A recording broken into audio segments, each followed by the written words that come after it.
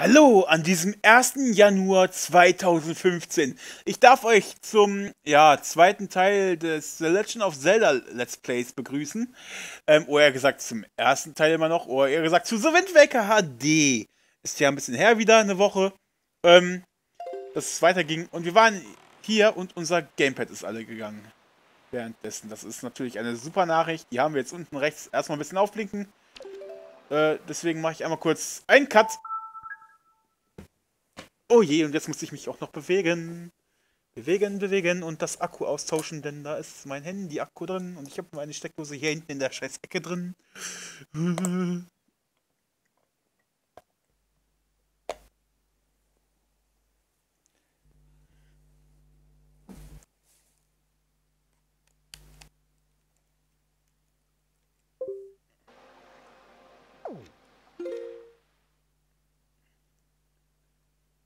Ein Hallo und ein herzlich willkommen zurück zu The Legend of Zelda The Wind Waker HD im Jahre 2015. Der erste Part, das erste Video, was wir sehen werden, ist auf jeden Fall The Legend of Zelda. Im heutigen Part wollen wir eine Reise nach Norden machen. Wir haben im letzten Part, der etwa vor 10 Tagen kam, ähm, ein paar Kartengebiete aufgedeckt, insgesamt vier Stück, glaube ich, oder drei Stück nur, haben dabei ein Viertelherzteil noch gefunden und sonstige kleine Sachen, die uns vielleicht ein bisschen noch helfen werden.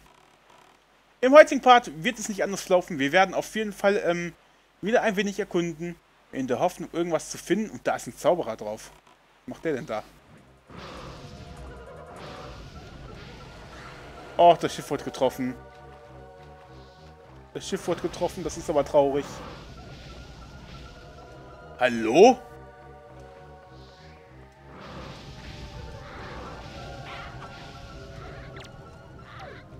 ETF, was ist denn hier los? Ich brenne!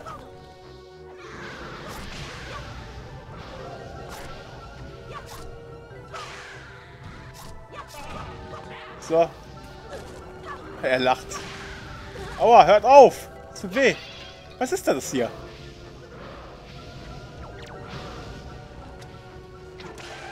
So, der ist tot. Gott, sie zaubern aber ziemlich stark, ey. So.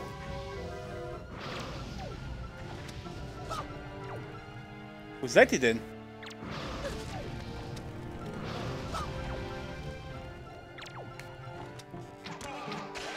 So. Der nächste ist tot. Alle sind tot. Das ist gut. So. In der Kiste ist eh nichts als Rubine drin, wette ich mit euch, aber okay.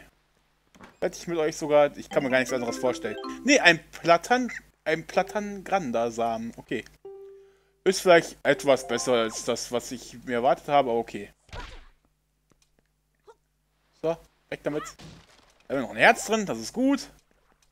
Und hier haben wir noch Energie drin. Und es fängt wieder an zu regnen.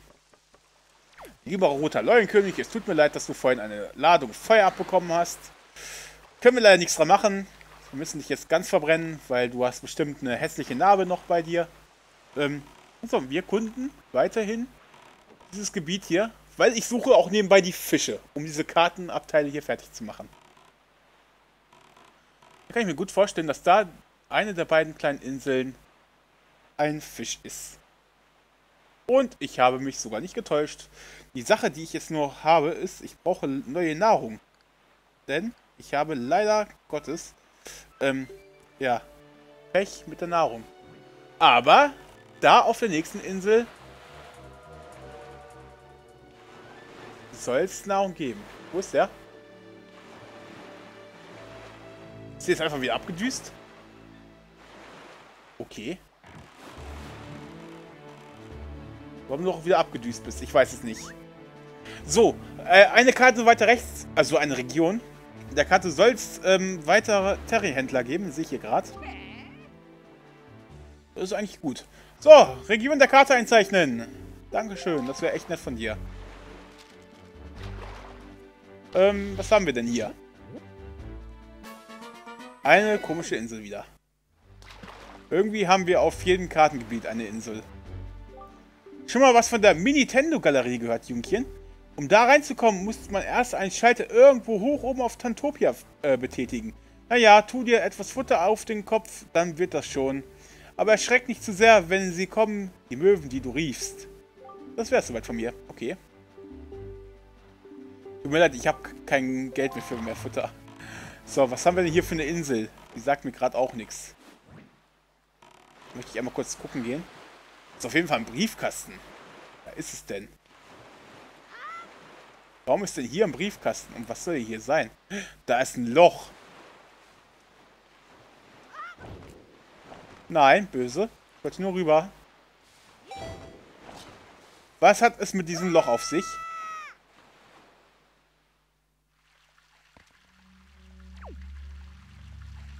Wo bin ich denn hier? Oh, ich habe ein ganz ungutes Gefühl bei der Sache.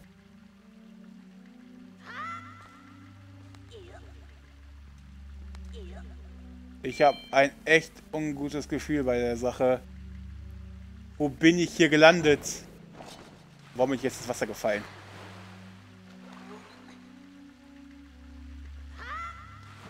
Oh nee. Komme ich hier hoch? Nö. Ey, ja. Jetzt mal kurz überlegen. So. Was können wir denn hier erreichen, mal so gesagt? Da oben sind 10 Rubine. Also bisher sehe ich hier nur Rubine. Aber vielleicht, man kann ja nie wissen, kann man hier noch irgendwas anderes finden. So, da unsere Energieleiste ja doppelt so hoch ist. Alter, das war knapp. Und da ist sogar eine Kiste. Da ist eine dumme Kiste. Oh, das war so schwer zu sehen. Nein! Bam. Oh, tut das weh. Ja, tut das weh. Wir brauchen einmal kurz den Bumerang. Wir haben irgendwas gefunden. In so einem ähnlichen Gebiet war ich schon mal. Da waren doch hier überall... Ja, stimmt. Da waren doch hier überall diese komischen ähm, Viecher drin. Deswegen möchte ich die auch weiterhin nicht öffnen. Dein Ernst? Ah, ich kann die gar nicht angreifen. Ich muss den Weg hier durchfinden. Okay. Stimmt, das hatten wir auch schon mal in der Form, ne? Oh, die machen Instant-Kill?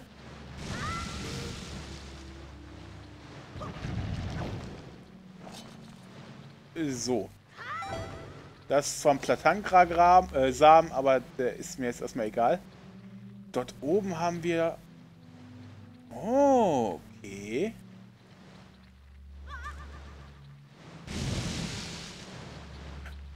Was ist das hier für eine Kiste? Oh, komm!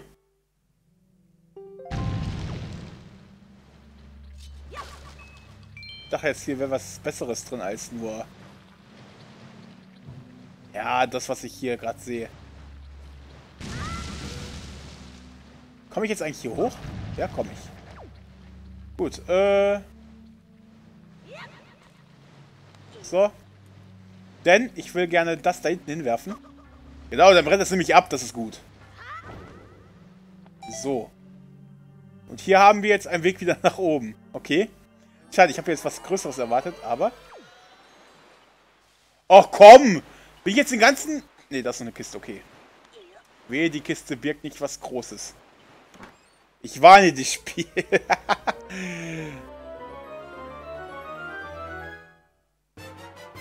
eine Schatzkarte, das geht doch vollkommen. Ja, das, das ist vollkommen okay. Ich bin mehr zufrieden als alles andere. Na, kleiner Mann? Lange nicht mehr gesehen, werter Freund. Wie ist es dir ergangen? Was? Äh, die tantopischen Bäume sind auch verdorrt. Äh, ja, ja, ich weiß. Ja, komm. Ich habe keinen Nerv, jedes Mal nach Tantopia zu gehen und wieder zurück. Leuenkönig, auf zu gehen. Es geht weiter mit der Reise. Karte öffnen. Unser Weg führt weiter nach Norden. Nicht dahin. Da, obwohl. Sollen wir mal kurz gucken, was wir da haben? Sieht aus wie so ein ganz großer Turm eigentlich. Aber kennen wir den nicht schon? Ist das nicht Tantopia? Habe ich Tantopia... Das ist doch Tantopia. Ja, das ist Tantopia. Warum habe ich das denn auf der Karte noch nicht aufgedeckt? Ich weiß es nicht. Gut, die Reise geht weiter. Weiter nach Norden, nach 10 Minuten. Wir haben wieder was gefunden, und zwar eine Schatzkarte. Und das ist Schatzkarte Nummer 25. Irgendwo da. 29, 30 auch noch nicht geöffnet. Okay. Ähm, wir haben auch die Wahnsinnskarte, fällt mir gerade ein. Hier irgendwo soll angeblich irgendwas mit dem Triforce versteckt sein. Da bin ich aber mal gespannt. Wir müssen ja nebenbei nach den Triforce-Splittern suchen. Ähm, ich habe leider keine Ahnung, wo ich sie finden kann, aber ja, wer sucht, der findet. Hier finden wir bestimmt wieder nur ein paar Rubine, ne? Ich denke mal, der Triforce-Splitter hat eher was wirklich damit hinten an der Ecke zu tun. Als mit der Insel, die da ist. Ja, das war vorher zu sehen. Wo war die Insel jetzt? Da war die Insel. Irgendwas, denke ich mir, hat es mit dieser Insel hier zu tun. Ja, da ist ein Fisch. Den können wir jetzt leider nicht ähm, besprechen. Terry, wo haben wir... Okay. Ich möchte gerne, bevor ich weitermache, erstmal nach Terry.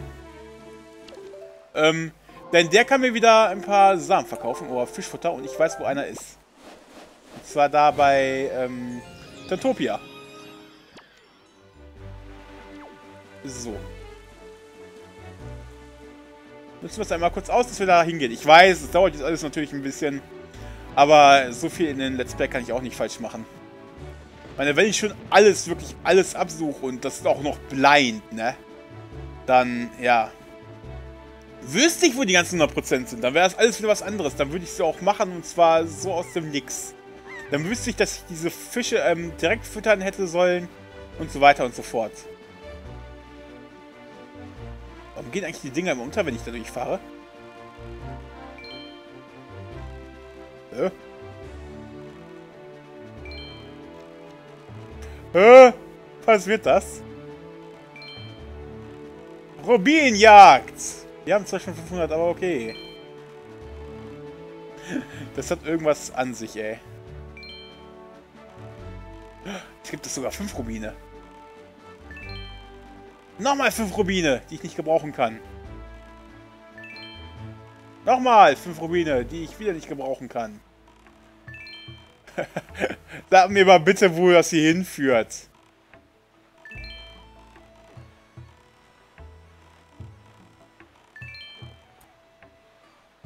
Das war's? Das war's.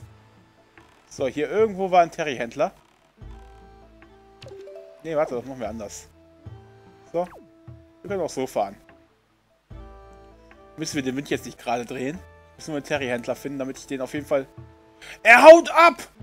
Nein! Er haut, ey, er haut jetzt ab, ne? Wer ist zu schnell für mich? Äh, so. Ey, er haut echt ab. Was bist du denn für ein Arsch? Ah, er dreht um. Du hast mich bestimmt gerade gesehen und willst mir jetzt seine, seine Sachen angeben. Und er legt sogar Anker. Okay, dann machen wir das auch mal hier neben, neben ihm. So, hallo, lieber Terry-Händler. Du hast mich bestimmt schon aus deinem nicht vorhandenen Fenster ges äh, gesehen. Ich hätte gern neues Fischfutter. Reden. Oh, ich habe sie schon erwartet. Die Piraten hatten günstig Bomben abzugeben. Eine einmalige Gelegenheit. Übrigens ist diese bezaubernde Mädchen eine Bekannte von Ihnen? Sie sind mir schon einer, sehen aus wie ein kleiner Junge, aber haben es wirklich faustdick hinter den Ohren. ja, ja, gut. Äh, die haben gerade Konjunktur. So. Ja, muss ich haben. Danke, sieben Punkte gesammelt. So. Ähm, Pulpulfrucht, 10 Rubine. Die gibt es nur, ehrlich. Ich weiß aber nicht, was ich damit machen soll. Mit diesem ausgetrockneten Kürbis. So. Ich kaufe natürlich noch mehr davon. Denn wir haben jetzt gerade das Geld dabei und wir müssen auf jeden Fall so welche sammeln. Wegen den ganzen Fischen. Ähm, und vielleicht kriegen wir ja, wenn wir 30 Punkte haben, wirklich was. So, danke, jetzt haben wir 10 Punkte gesammelt. Also wenigstens fünfmal oder so kaufen. Oder sechsmal oder siebenmal oder achtmal oder zehnmal. Und irgendwann, irgendwann werden wir auf jeden Fall, irgendwann werden wir auf jeden Fall dann mal, ja, kann man schon sagen, 30 Punkte zusammenkriegen. oh je. So. 13 Pink Pech, deswegen lassen wir es jetzt dabei. Danke für diese bezaubernde Bedienung, sag ich mal dazu. Wo ist mein Freund hin? Leuenkönig, wo bist du hin? Er hat... er wollte uns einen Streich spielen. Das hatte er vor. Er wollte uns verarschen. So. Windrichtung natürlich wieder ändern. Denn wir müssen natürlich ein bisschen schneller vorankommen. So, dahin wollen wir. Wenn wir nebenbei hier ähm, den Fisch von Tantopia finden, werde ich den auch füttern. So, den habe ich auch irgendwo mal nicht hier gesehen. War er da hinten? Ja, da hinten springt er rum. Gut, dann können wir mal kurz die Items öffnen. Ein Glück fährt das Schiff weiter, während wir hier ähm, im Menü rumgammeln. So. Wo war er jetzt? Ist halbwegs vorbeigefahren. Kommt er? Oh nö, er war zu weit weg. So. Hier, Yam Yam Fisch. Ist das nicht lecker? Äh...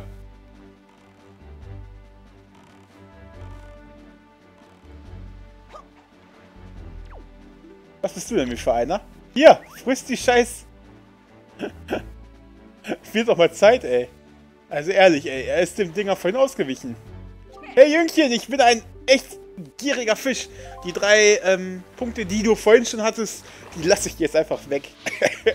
die fresse ich gleich auf. So. So, das ist wirklich Tantopia hier. Auf Isla Bomba, ein bisschen nördlich von hier, habe ich einen fliegenden Händler gesehen.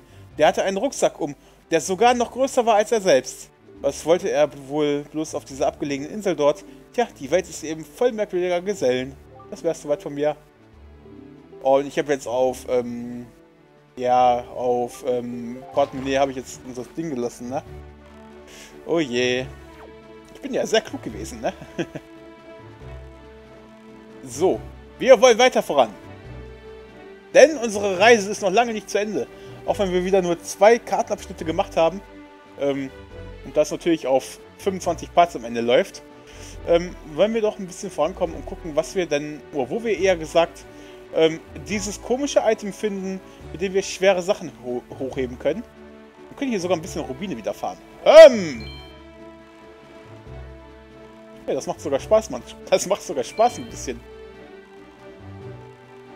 Ähm, Items nebenbei aufmachen. So, ähm, Schweinebalter auf. Da müssen wir nämlich wieder ein paar Sachen drauf tun. Denn wir haben ja keine mehr. Wir können ja immer nur drei auf einen Haufen tun. Das ist irgendwie ganz komisch. Ähm, warum auch immer. Hat vielleicht irgendeinen technischen Sinn. Ich weiß es nicht. Kann sein, ne? Vielleicht hat das irgendeinen technischen Sinn, dass wir immer nur drei auf einen Haufen tun können. Schönheitshalber, wisst ihr, was ich meine? So. Da hinten ist doch schon der nächste Fisch.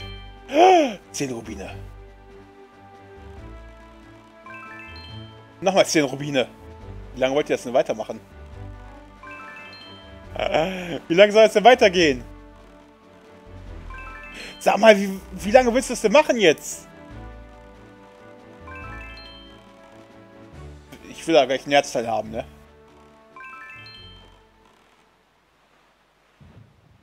So. Du hast dich einfach hier weggeführt. Das ist zwar nicht nett von dir, Spiel. Ähm, wo wollte ich hin? Ich wollte nach... Ich wollte zurück. Ja, da war ja noch der Fisch, deswegen. So. Hier irgendwo war der Fisch. Da hinten war er. Komm her, Fischi, Fischi, Fischi. Und sag mir, was das für eine kleine Insel hier ist. So. Dankeschön. Kriegen wir wieder einen Kartenabschnitt frei. Hey Jüngchen! Ja, Informationen und so. Sehe gerade auf. Komm her damit. Wo sind wir denn hier? Greifenhorst-Insel. Okay. Jüngchen, schon mal was von einem goldenen Dreifuß gehört? War wohl irgendein Piratenkapitän.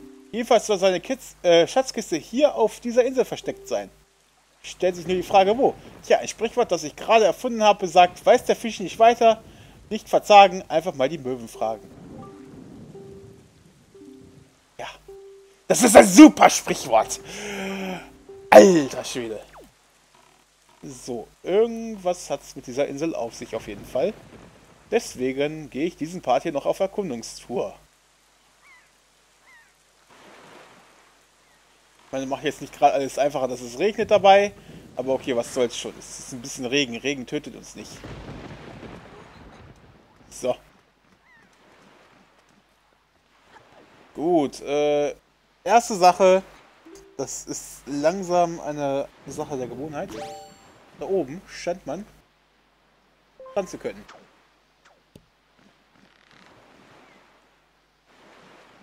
Wozu habe ich das hier? Ich habe keinen großen Grundgedanken. Öffnen kann ich das auch nicht, aber da geht es irgendwie rein. Hm, ich dachte vielleicht, wenn ich daran ziehe, dann öffnet sich das. Und ja, man kann da rein, ne? Oder kann ich irgendwo andersweitig hin?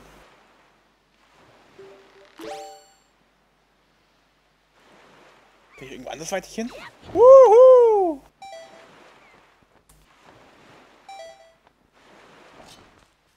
War auf jeden Fall nicht das Richtige. mal nur so als kleine Nebeninfo, die ihr bestimmt selber wisst. So, ich denk mal. Gott, da oben sind diese ganzen Biester, ey. Da kann ich nicht hin, wenn ich hier nicht rein kann. Nun ja, wer sich nicht weiterhelfen weiß, der nimmt Bombennase weiß. Oder so ähnlich heißt das doch. Oh, okay, die Bomben helfen auch nicht. Dann würde ich mal sagen, einfach weiter mit der Schiffsreise. Weil es läuft ja ziemlich gut. König, ich bin wieder da. Die Insel war ein Betrug. So, dann machen wir einmal wieder natürlich unsere schöne ähm, ja, Melodie. Und machen wir die Musik nach Norden. Boah, den Wind eher gesagt, nicht die Musik, den Wind. Denn hier habe ich so ein Gefühl, hier können wir nirgendwo drauf, ne? Nö. Da gibt es wohl nur Pech. So, da hinten haben wir noch eine Insel. Die möchte ich gerne heute noch anstreben. Und dann war es das auch schon. Wir sind da ziemlich weit gekommen. Wir haben drei Kartenabschnitte wieder freigeschaltet, beziehungsweise dann vier. Ähm, muss dazu sagen, wenn wir so weitermachen, dann ist es echt gut. Also ich möchte ja auch jetzt nicht die ganzen Parts hier mit äh, Kartenabschnitte auffüllen, äh, machen, sondern ähm, ja, wenigstens ein bisschen an Fortschritt machen. Was haben wir denn da? Da ist schon wieder so ein Bombentyp, so ein Schiffstyp, der irgendwas hier versteckt. Also eher gesagt, so ein Typ, der hier äh, schießen will. Er bleibt nur da. Alter, das hat mich fast verfehlt. Alter, wäre es ein 3D-Effekt, das wäre so cool gewesen, ne? so, da wären 5 Rubine, die ignoriere ich jetzt mal, weil hat uns eh im Endeffekt nichts gebracht bisher. Und hier haben wir das großartige Muschelhaus des Verderbens, denn es hat Stacheln oben rum. Oh.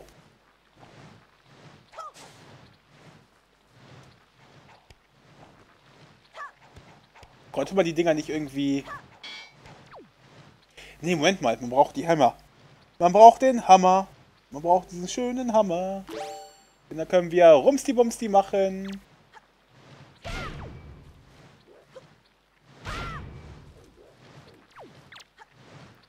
Und öffnet sich das? Oh, Tatsache. Das Muschelhaus des Verderbens hat sich geöffnet. Das ist ein Loch.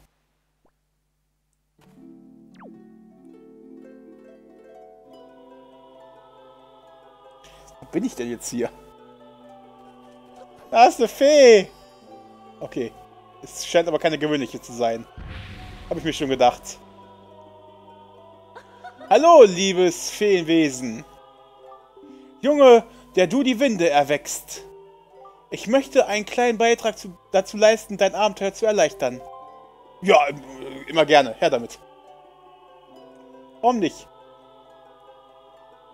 Eine weitere Blume.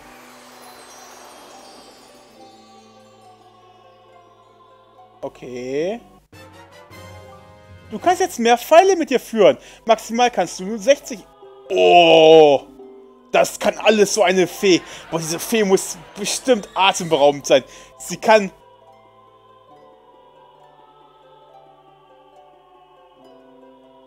Sie kann... Übrigens lasse ich die da, die sind so glücklich da. Ähm, sie kann dafür sorgen, dass ich mehr Pfeile tragen kann. Das ist eigentlich cool. Mehr Pfeile für Masa im Muschelhaus des Verderbens. äh, Monster? Um Gottes Willen! Um Gottes Willen! Wo kommst du denn her? Ey! Bombardierst du einfach meinen Lowing-König. Was soll die Scheiße? Bleib nur stehen. Ich werde dich sowas von vernichten.